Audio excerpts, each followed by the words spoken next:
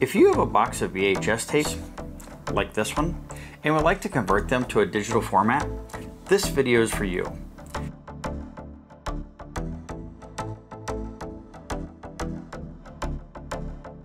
In this demonstration, I'm going to use a few different methods to convert VHS videotapes into a digital file on your PC.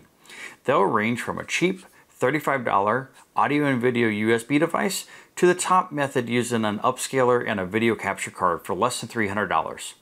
But I think all of these methods are reasonable, and frankly, these are our memories, our priceless memories. You are only going to do this once, and you need to do it before your tapes degrade, and you lose those memories forever. I encourage you to watch the whole video, and if you find this helpful, please convert that subscribe button for me and press the like button below so the YouTube algorithm can bring those videos to others and we can save another forgotten memory locked away in some cardboard box in a corner. But right now, we'll start with the cheapest option first and work our way to the most expensive method. And along the way, I will share with you the comparison of the different video captures and also how they stack up against each other. I'm not going to go into great depth on any one of the devices and its software, as I'll leave that to another video so I can represent each product appropriately, as I feel for the price, they're all good.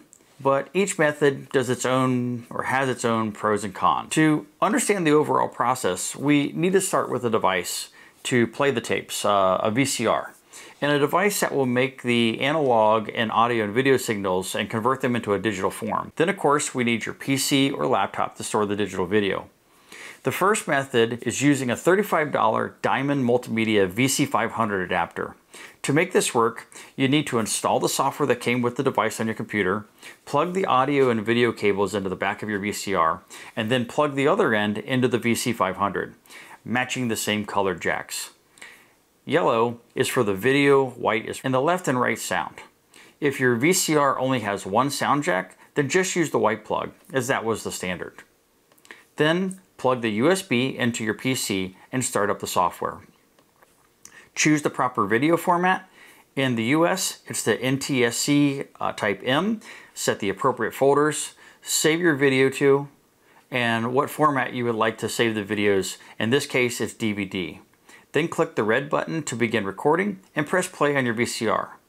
Now we have to watch the entire video as it plays, so go grab a snack or possibly even dinner, because, uh, well, a VHS tape, it can hold up to 8 hours of video in its longest play mode. Once your video is done, click the stop button on the software and you should have a digital version of your tape. Now, don't forget to stop your VCR and rewind the tape for the next person. So the VC500 by default will save the video recording in a 720 by 480 4x3 square video format, which is saved as an MPEG 2. And for $35, it looks quite nice. Now, my second method is using a very similar device, the Elgato Video Capture USB device, which only runs around $85 US. For the extra 50 bucks, frankly, it's worth it. The software is superior in many ways, and the video quality, although it's not earth-shattering different, I do think it's better. I think the main reason for this is the Elgato offers many more output formats, and the digital encoder process uses a newer codec, and that just makes the video better than the MPEG 2 format. It also supports many different formats from the native 320 by 240 to a 640 by 480 and even the 720 by 480 format, just like the VC500. So the Elgato has a lot more options. You can also choose a 4x3 or a 6x9 for each video format, and there are editing options and ways to share your video on YouTube and more. To use the Elgato Video Capture USB device, just like before, plug your audio and video cables into the back of your VCR, Plug the other end into the Elgato video capture device, then plug the other USB end into your PC. From there, install the software, start it up, name the memory you're going to capture, and choose the aspect ratio. Most all VHS tapes will be a 4x3. Now press the red record button and begin capturing on the PC. And then press the play button on your VCR. Just like before, we have to wait for the video play, and the Elgato software even has a mute option while it is converting. And it will not affect the process at all should you want to mute it, and go back and watch one of my other YouTube videos while you're recording it. it won't affect anything. Once it's done, then you can press the red record button again and the conversion will stop. Now, this is another way that the Elgato software is better and makes up for the price difference.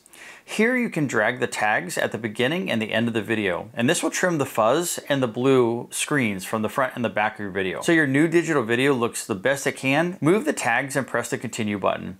The software will now begin cropping your video for you while it saves a copy to the folder you selected. Let's take a short look at the differences in the videos. Here we can see the native original 320 by 240 size and format of the video at the top of the screen.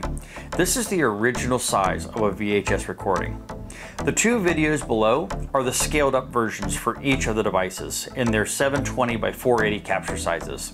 These scaled up videos are better because when we go to watch this on our computer or on our big screen TV, the larger pixel image hopefully will look better and not so blocky when we expand it to the full screen size. The Elgato software will provide you with many more output options as the cheaper VC500 really only has the one format. If you pay attention to the video differences, I don't see an earth-shattering quality difference between between the Elgato and the VC500, but I did notice that the encoding process of the Elgato software definitely made some of the rough edges smooth. And I think this is because of the encoding software, as both of them did a good job of upscaling the original 320 by 240 video. The Elgato was able to use the more modern algorithm, which caused the digital image to look just look better. And remember, the Elgato software also supports multiple formats and aspect ratios should you want them.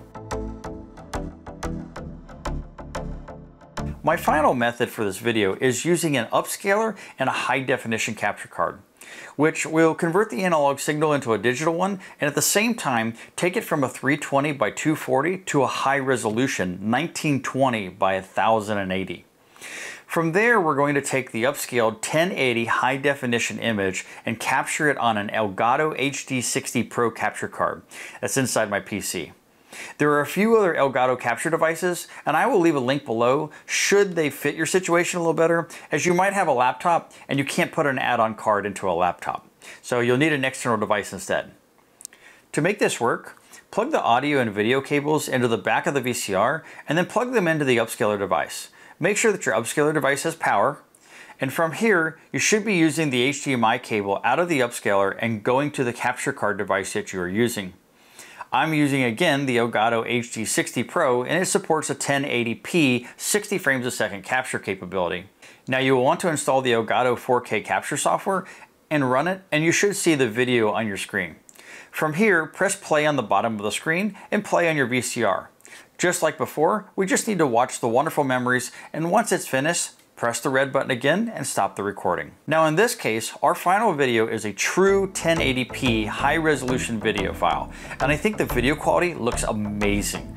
When you compare it to the scaling the device did, it really is impressive when you compare it to the 320 by 240 image into a, a 1920 by 1080 image. Now, to show you the difference, I'm gonna take the original 320 by 240 image and stretch it to the 1920 by 1080 screen size. And I'm now going to take and place the Elgato HD60 Pro capture right next to that scaled image. And you can really see the difference. So I hope you enjoy seeing the difference between the low-end USB capture device and using a high-end capture device such as the Elgato HD60. Again, I think all of these are great options, but I personally would go with one of the Elgato products as the software was just magnitudes better. And if my budget could handle it, I would definitely use an upscaler and the HD60 capture card or something equivalent. If you want to see a deeper dive into any of the products that I used, I put the link in the description below to other videos that I made. If you want to see the options for converting your videos without the need for a PC, I made another video here. Or if you need to convert 8mm or Super 8 film, I also made another video on how to do that, over here. As always, I'd like to thank you for taking the time to watch my channel. Please leave any comments below and I will respond to them when I get a chance. As always, have fun, have a wonderful rest of your day, and again, thank you for watching.